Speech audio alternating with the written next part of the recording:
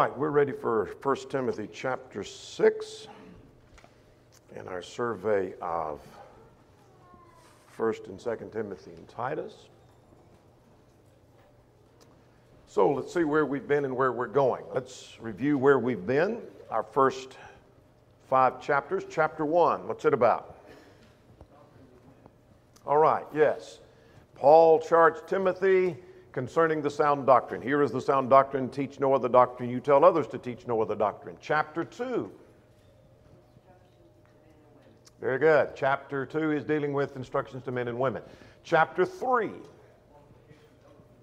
Qualifications of elders and deacons. Chapter 4. All right, yes, personal instructions to Timothy. And then last week, chapter 5. Yeah, various groups that are uh, addressed in chapter 5.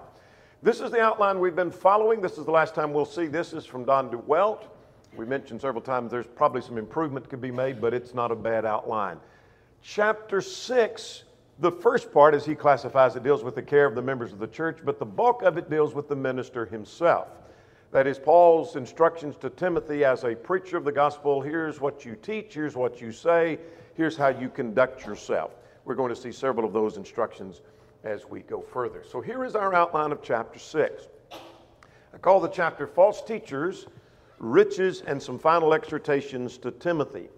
And so this is just some miscellaneous information to Timothy, beginning with uh, what, ser- what he needs to teach about servants, what they should and should not do. False teachers, warning about false teachers, 3 to 5. He talks about contentment versus riches, or contentment and riches, verses 6 to 10. And then the next section I call exhortation to Timothy of what he's to do. He's to flee, he's to follow, he's to fight. And some would add even to keep in that and subdivide that last section. We'll say more about that when we get there. 17 to 19 is the exhortation to the rich. It's interesting that he picks up on riches a, a second time, uh, having already identified that earlier. And then here's the final charge, and that is to keep that which is committed and avoid some things.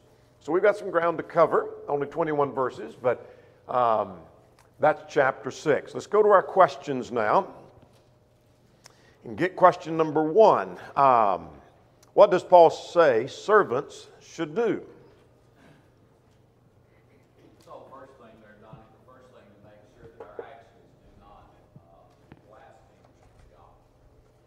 All right? Make sure your actions do not blaspheme God. Anything else? Count them worthy of honor.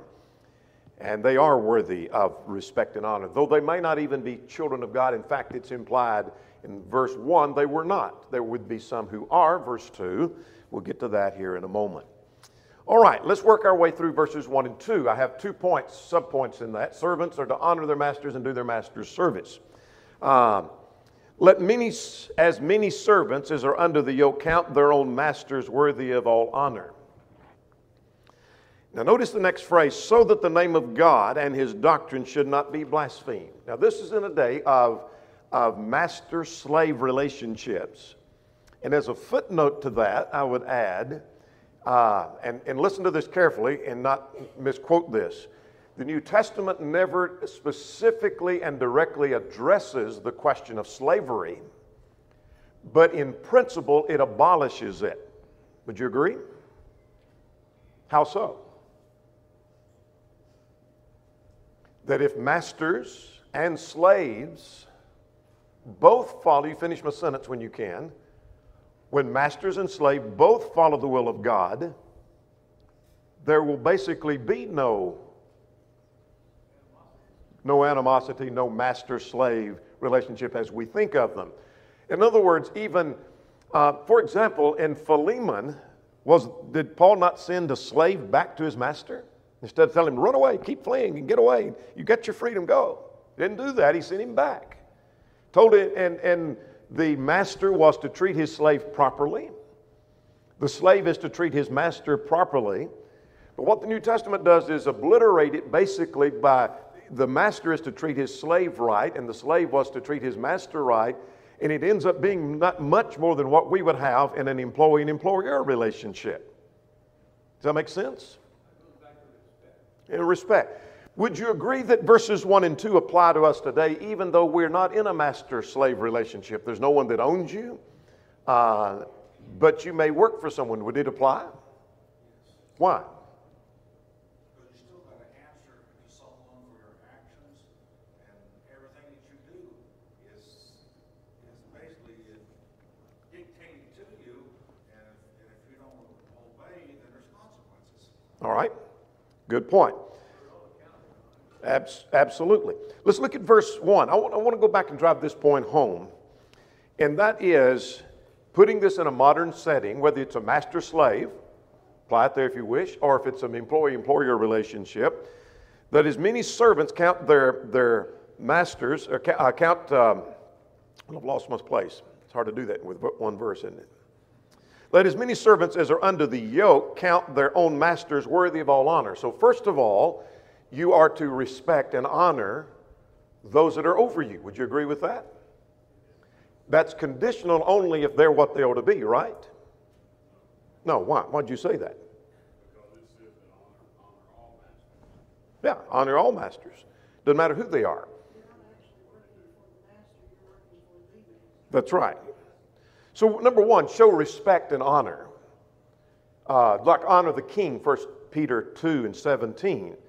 And that was under Nero. That was a wicked emperor. But honor the king, show respect. But here's what I'm really driving at. Uh, so that the name of God and his doctrine may not, should not be blasphemed. How does that relate to what you are in the employee employer relationship?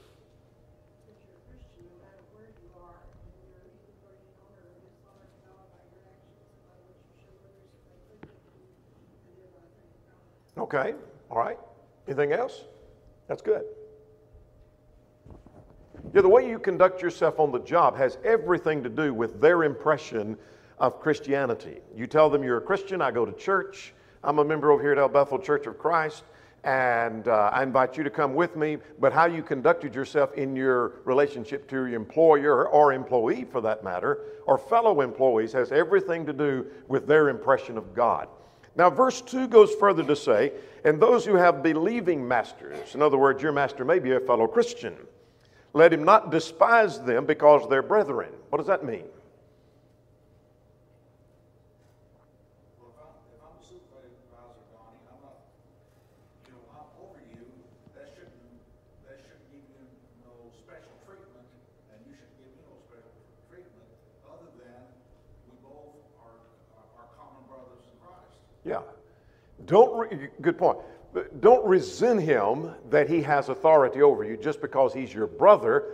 Um, much like a family relationship, honor the, the position that he's in. But rather serve them because those who are benefited are believers and beloved.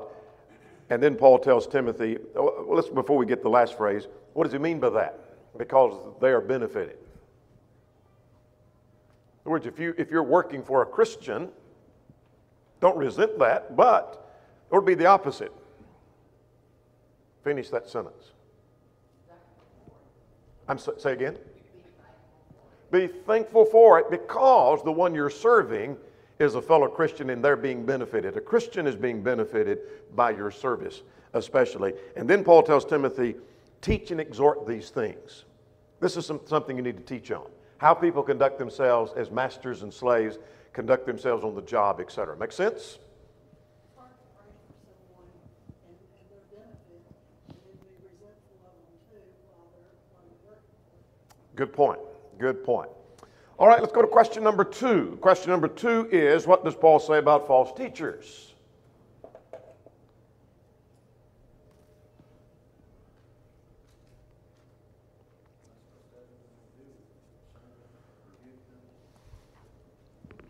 All right, have nothing to do with them.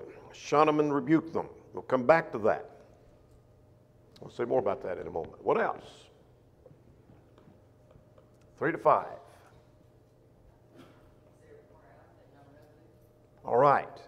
If they're teaching, which false teachers are, things contrary to God, they're proud, and they don't know what they think they know.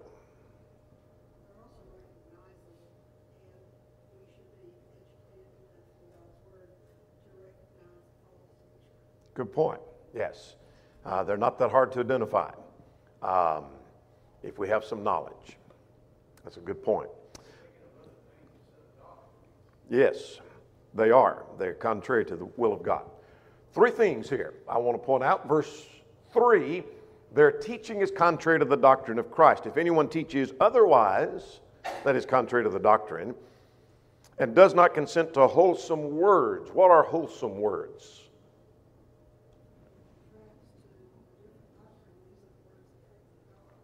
Yeah, these are the words came from God. Some translations use the expression sound doctrine. Sound doctrine. We talk about sound doctrine. Sound has to do, it's, it's, a medical term having to do with that which is wholesome and healthy. So here is doctrine that is true, is wholesome and healthy.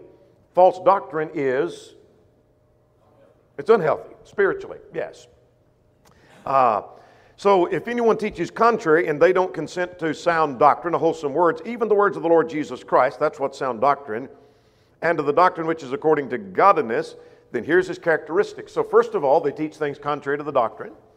Secondly, their characteristics are what? You tell me, verse 4. If you're contrary to the doctrine and go deliberately contrary to the doctrine, you're, you're proud, first of all. You're arrogant. You think you're smarter than God. Secondly, they know nothing. They don't know what they think they know. Perhaps, let me just add a footnote here. Perhaps he's referring to the same kind of thing that he's referring to down at verse 20, which, if you remember a few weeks back, we dealt with Gnosticism in light of 1 Timothy, and that may have reference to the Gnostic thought. Uh, that they do not have the knowledge they think they have. They claim to have superior knowledge. Uh, but to say the least, a false teacher doesn't know what he thinks he knows. If he's teaching error, he's, he doesn't know what he thinks he knows. Uh, what else do we see? Verse 4.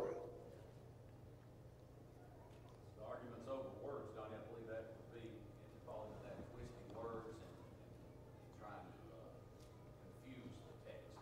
All right. Yes, there's, they're, they're obsessed with disputes and arguments over words. We've already come across in 1 Timothy those that would argue over genealogies. And there were the old wives' fables, and we've identified those. Uh, some of that may be Jewish in origin, others have suggested that may be Gnostic uh, uh, concepts. Uh, but whatever it may be, here's something contrary to the re- revelation of God. And when, when they want to argue and dispute over things, that when you get through doesn't lead you to any greater knowledge of the scriptures, here's what it does. And so, uh, and before we get list what it does, here's one of the things I point out in preacher training programs constantly to young men, and that is don't waste your time on useless material. That's good, that's good advice for Bible class teachers, isn't it? And that's good advice for preachers. When you're in the pulpit, when you're in the classroom, don't waste time on useless material. Here's why. You tell me, verse 4. From that comes, it generates envy, strife, reviling, and evil suspicions. Let's talk about those. Uh, yes, sir. You think some people really know what the truth is, but they're trying to appease to their, to the uh, hearers? I think so. I think there are those who do that. There have been some who've admitted that. Uh, that they, uh, back during, as an illustration of that, back during institutional days, uh, there were the guys who admitted that I'm going to see which way the, the, the thing goes, where the majority goes, where I want to be used among brethren. I want to be brethren to use me in meetings. I want to have places to preach. So they stick their finger to the wind, and that's the way they're going. That's the way I'm going. Uh, there was one brother, and I won't quote him, but uh, if I mentioned his name, you would have heard of him, uh, who went to Texas to try out during the institutional days. And was, the report was when the brethren asked him which side did he stand on, and they he responded by saying, "Which side do you need me on?" In other words, I'll go whichever way you want me to go. If y'all want me to go that way, I can go that way. Well, then, needless to say, he wasn't worth his weight in salt. But I think you're right about that. But notice here's what it generates it can generate envy and strife. The word for strife uh, simply means contention or wrangling. The word for reviling is the word for blaspheme, uh, defaming man, defaming God, defaming uh, others, um, and evil suspicion. It makes one uh, Because of the arguments over things that amount to nothing, if someone doesn't agree with you, then you are suspicious, perhaps, of them uh, holding to evil concepts or, or guilty of evil things. So, the point I want you to see is that when we waste our time on useless material, it generates nothing good but only harm. Does that make sense? Verse 5. Here's continuing his list useless wranglings of men of corrupt minds and destitute of the truth. What's useless wranglings? All right, constant friction. A footnote in the New King James will say constant friction. Constant friction, taking the other phrase, putting them together, is something that's useless. It's not productive of good. It comes from men that have a corrupt mind and are destitute of the truth. Now, this is interesting at verse 5 who suppose that godliness is a means of gain, and from such withdraw yourself. Let's look at two things. What does it mean that they suppose that godliness is a means of gain? This is not true of all false teachers, but particularly those that Paul may be addressing.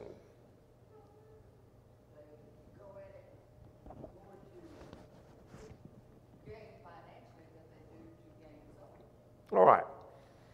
There's perhaps two things in mind here. One of two things, and maybe a little of both. I'll start with, with the idea that some think that if they are blessed, that that is uh, God's stamp of approval upon them. So I'm teaching this doctrine. I seem to be blessed. God is approving of what I say. And so uh, gain is, is a proof of my godliness. So I know I'm teaching the truth because I'm teaching baptism is not essential and I'm well blessed and I'm well supported, et cetera, et cetera. And so there's evidence that I'm right. That's maybe partly involved. It seems to be more the idea that they use their, and I put in quotations, their godliness. They're not truly godly if they're false teachers. But they use what they view as their godliness as a means of gaining. In other words, I can teach this doctrine. Let me give you an example, modern day. Um, the health and wealth gospel preachers are the televangelists, just all of them. Let's just group them all together. That is, they preach and teach on television and beg for money. Most of them end up being mega wealthy. They're using their brand of religion, brand of godliness, as a means of gain. Make sense? Could that happen on a, on a smaller scale, even in the church? There's, and I won't mention a country, but there have been a number of times we get requests for support from some foreign country, and when we inquire of brethren that we have confidence in, is this brother sound? That saying, no, he's a, he is a false teacher, he's ungodly, but he poses as a faithful preacher, and he's getting support from churches in America. So his brand of godliness that he puts out in front is a means of gain. Supported quite well for being a corrupt guy. All right. Make sense? Now, at the end of that, before we go further, and then we're going to pick up our pace a little bit, at verse 5, what does he say Paul uh, Timothy is to do about this? Here are false teachers, they're corrupt, they create problems. Here's what you need to do. What does he say? What does that mean? separate himself from have nothing to do with. Why? You're right. You're exactly right. Why? He, d-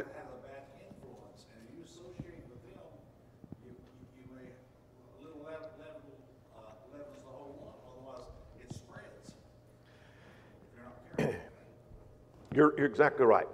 Tell me, if, let me let me pose what really happens among brethren, and you tell me if this is fair. When, when someone wants to know, is John Doe, is he, is he a sound gospel preacher? And I inquire of some brethren that I know, and they may say, Well, I don't know what he teaches, but let me tell you who his close associates and who he runs with and who he has for meetings where he is. And they name some corrupt guys that teach error. And so he runs with that crowd. And so I conclude that he probably is part of that crowd. I don't know for sure. Is that a fair assessment? Say again? You become like them. Here's the point that I want you to see is be- careful who you run with. Be careful of the crowd you run with. Be careful of those that you identify yourself with because you can become part of them or at least identified with them. Whether that's fair or not, you become identified with those who are your associates. All right, let's move on. Let's go to verses 6 to 10. And uh, let's go to question number three. What is the root of all evil? Love of money. Not money, love of money is the root of all evil. So that leads us to question four How is it the root of all evil? Okay. Uh, There is other evils besides dealing with quantitative items. Right. Uh, You, you might, you might, uh, covet after somebody else's wife. That has nothing to do with money. Right. That is, but that, that is evil. It is sinful. So there's other sins, I think, besides money, but people think that they can gain everything. Yeah. By by the gain of money. Right. I think the point of the text is this um, that not that money is the root of every sin, because there's some sins that don't involve money at all. Again, men lust and he seizes, and whether it's, uh, um, you know, maybe he covets another man's wife and he may lose money over that, but that's still what he wants. There's no money involved. I got that. Um, so it doesn't mean that every sin, but it means every kind of sin. For example, uh, it's a mo- money has a motive for some people stealing. Money is a motive for people gambling. Sometimes it's a motive for murder. Sometimes it's a motive for false doctrine, as we've already noted in the context, or some form of immorality. Uh, is so money is at the heart of all kinds of evil. That's the point he's making. He's not saying every evil thing money's tied to that, but all kinds of evil is the point. I think about, uh, I, I think about men that are, they're, they're pulled away for that money. And then from that, look how their life starts falling apart in every aspect because they first started seeking the dollar bill. Yes. It can. Sometimes our lack of attendance may be because of money. I've got to have that, I, I'm going to volunteer for overtime, and so I start missing. And the next thing you know, because he's spending so much time with work, he, he- he's neglecting his family, and so the family comes apart, etc. Let's work our way through this section. This is quite familiar, and I'm going to pick up the pace just a little bit. He talks about contentment versus godliness now. Let's talk about contentment. In contrast to what he just said at verse 5, those who think that godliness is a means of gain, but godliness with contentment is great gain. And so, if you really want to be rich, then uh, it comes with contentment and godliness. What is godliness, by the way? Having to do with the fear of God, devout, piety before God. Uh, verse 7, he talks about contentment, godliness with contentment is great gain. Here's the reason that's the case. Verse 7, what's the reason?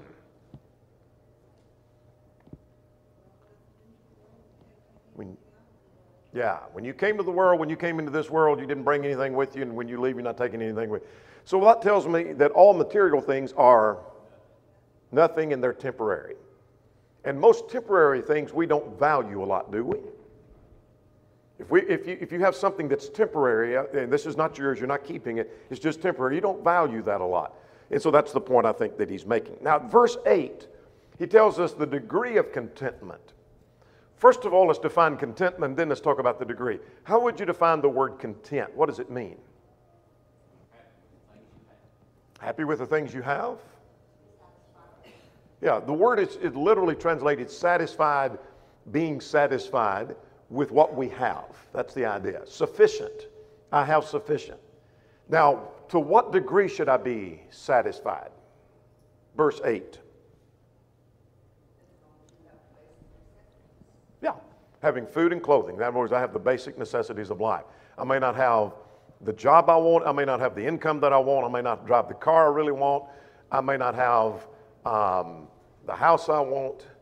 Is there anything wrong with wanting more in the sense that I strive? I'm going to get a better car that, that's more dependable. I'm going to get a bigger house to accommodate the family. Is there anything wrong with that?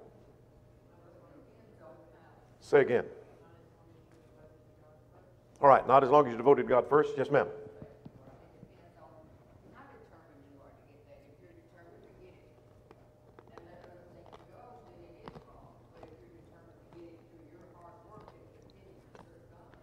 Absolutely. Someone has said contentment has to do with losing desire for things beyond your reach. I like that definition. That it may be within my reach to get this bigger house because I need that for my, my larger family that I have now. Um, but if it's beyond my reach and I'm unhappy and I'm dissatisfied and I'm grumbling and complaining, I'm no longer content. Let's talk about riches. Verse 9 those who desire to be rich. What's the danger? Their desire is pointed in the wrong direction. Yeah, they fall into many uh, foolish and harmful lust, which bring men down to destruction and perdition. And here's why because the love of money is the root of all kinds of evil. The New King James helps uh, the rendering of that a little bit. For which some have strayed from the faith in their greediness and pierced themselves through with many sorrows. So he's just contrasting this content spirit with the idea of those who desire to be rich and they're craving for more and for more. For what it may be worth to us, there are three categories with reference uh, that are addressed with reference to riches. There are those that are rich, we'll get to later at verse 17, who really are rich. Verse 17. There are those who desire to be rich, verse 9, and those who are really rich with reference to spirituality in verse 6. Make sense? Let's move on. Let's talk about this exhortation to Timothy. Uh, I word it this way because I built that off of, I built a sermon around this once about flee, follow, and fight. Uh, the American Standard uses the word follow instead of the word pursue here. So, what does Paul tell Timothy to flee?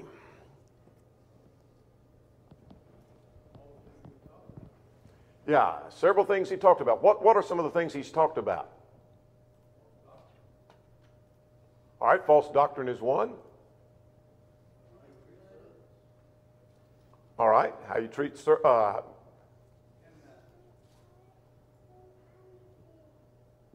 what else? Love of money. Here we go. Here's what I'm looking for right here. False doctrine has just been dealt with at verse three. Flee from that. The rejection of the uh, proud rejection of the word. Flee from that. Envy. Flee from that. Evil suspicions. Love of money. Would it include any sin? Sure. And so, what does the word flee mean? How would you define the word flee? Yeah, run away from. The Living Bible paraphrase says run from. One uh, lexicographer says uh, run as from a poisonous adder. Uh, you run from it like you're afraid of it. So you flee things, and when you flee from one thing, you automatically do what? Run to something else. So he says, in the process, pursue after, and what do you pursue?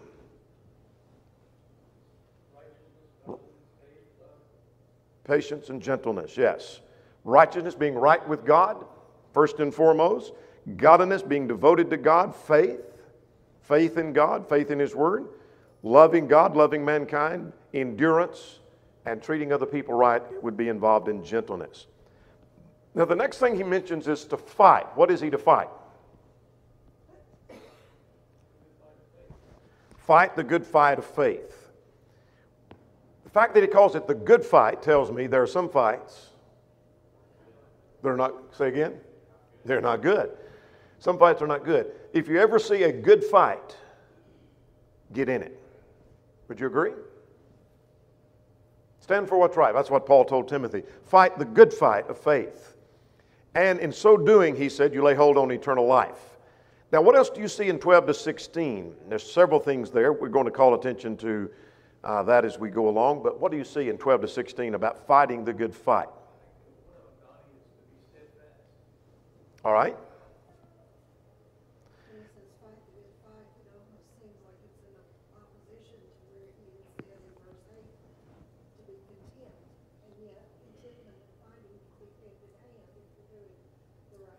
All right. And perhaps even more so would be the contrast between that and disputing about uh, things that are, uh, like at verse 4, over arguments over words. Uh, you're to fight the good fight, but don't waste your time arguing over things that don't matter. Does that make sense? Don't stir up issues that don't need to be stirred, but at the same time, fight the good fight of faith. Look at verse 12. Uh, to which you are also called and have confessed the good confession in the presence of many witnesses. I take that to be the confession uh, mentioned in Hebrews 10, the confession of our faith. We make that as we become children of God. Our, our, but it is a profession, not just that I believe in Christ, but if you acknowledge Christ as the Son of God, you're, you're pledging to follow and, and uh, service unto to the Lord. And so hold to that confession that you've made. And then he identifies I urge you in the sight of God, who gives life to all things, who witnessed the good confession before Pontius Pilate. Uh, who has the English standard? Mark's not here. He's my English standard guy. Um, all right. While, while he's looking for that, I want you to hear the English Standard, which I think clarifies verse 13. I think the point is this, then we'll come back to the English Standard at verse 13, that uh, Jesus made a confession before Pilate, and he was willing to die for that. So, so Timothy should live for his confession. Does it make sense? In light of the fact Jesus made a confession before Pilate and, and it cost him, you should be willing to make the same confession and you did, and you live up to that confession. English Standard, verse 13. I charge you in the presence of God who gives life to all things and Jesus Christ, who in his testimony before Pontius Pilate made a good confession. Yeah, here we, in his testimony before Pontius Pilate, I don't think it's emphasizing that Jesus witnessed the confession as it is he made the confession before Pontius Pilate that I am the Son of God. Make sense? And so, just as he made the confession, and you live up to the confession that you've made.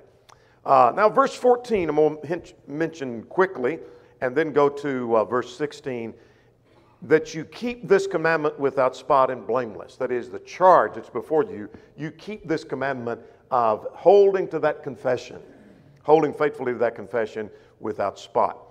Now, Jesus is identified, verse 16, as who alone hath immortality. That's been abused by our, our uh, materialist. By materialist, I'm not talking about those interested in material things. Materialist is a one who denies the immort- immortality of man. Man doesn't live on beyond the grave. We're, we're material. We're, we're made up of flesh and blood, and that's it. Um, so when you die, you, you, you, there's nothing lives beyond the grave. The Jehovah's Witness would fit that. And the argument is that God alone hath immortality. Man doesn't have it. That's not the argument that he's making. Um, because Abraham, Isaac, and Jacob are living. Remember the statement in Matthew? Um, so the point is that he only hath immortality, as American Standard renders it. He's not like man.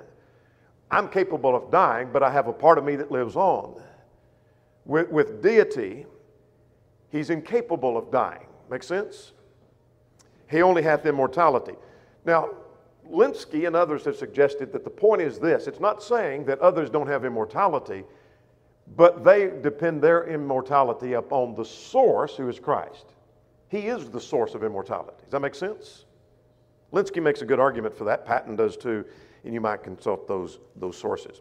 Let's move on now to um, question number seven. What do you learn about riches from 17 through 19?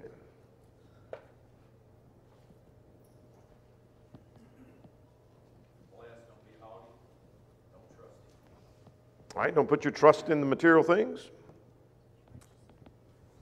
Say again. All right, be rich in good works. Don't put your trust in that. Let's work through this. Let's see what we've got. Three things on the screen. Uh, don't be high minded. Charge those that are rich, command those that are rich in the present age not to be haughty. In other words, nothing, is there anything wrong with being rich? No, there's nothing wrong with that. There were rich people in the Bible. Abraham, who else was rich? Job was rich. Perhaps the Apostle John was rich. Uh, Abraham was rich. Uh, uh, I think I already mentioned Abraham. Anyway, there were great Bible characters. Yes, ma'am. I think that it's it's important to notice that God is the one that gives, gives us everything that we have. He said God gives God gives us richly all things to enjoy. Absolutely. So those who are, are rich, charge them not to be haughty, not to put their trust in riches. But here's a point I want you to notice that God gave us all things to enjoy. What do you make of that?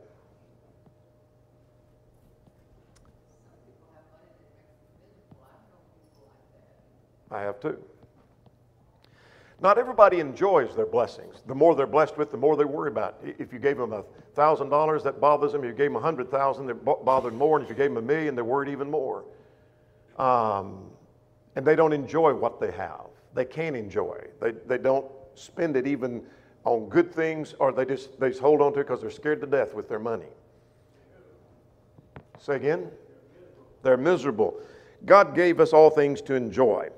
Now, verse 18, let them do good that they may be rich in good works, willing to give, willing to share. The American Standard says communicate, having to do with fellowship. You share with others.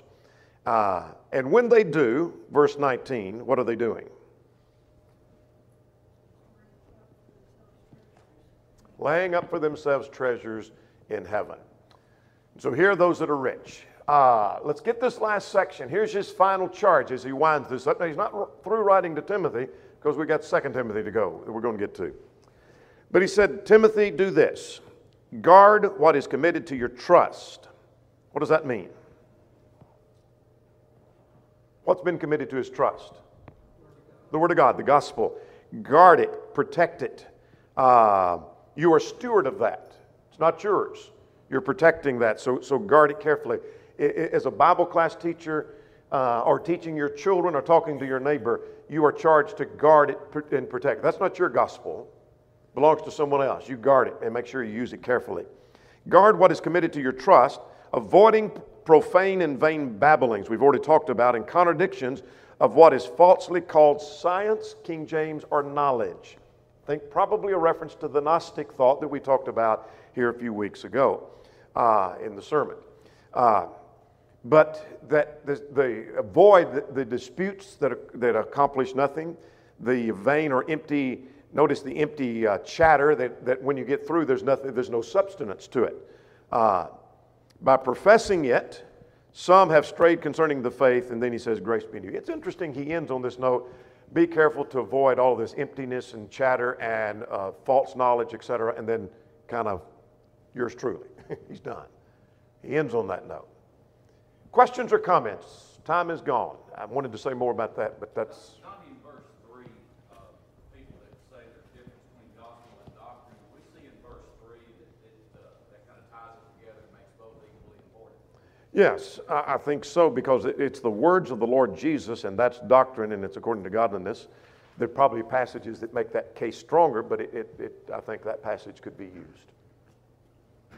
Questions or comments? Chapter 6, or on 1 Timothy. Instructions to Timothy of what he's to teach, how he's to teach, how he's to conduct himself. And so next time we'll deal with uh, chapter 1 of 2 Timothy. We've got time maybe for one practical lesson or two. Something you learned from this chapter. What'd you learn? All right. Dependency upon God and God's in control. We'll end on that note. Next time, we'll look at 2 Timothy chapter 1.